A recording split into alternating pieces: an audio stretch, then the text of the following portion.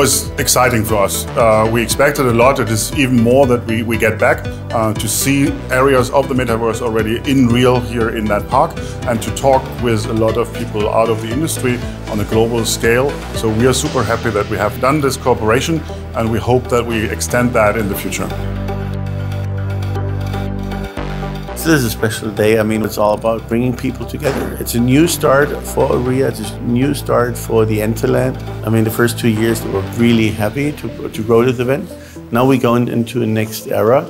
I'm super proud. I'm super happy what we've achieved and hopefully gonna achieve in the future with the BVDW.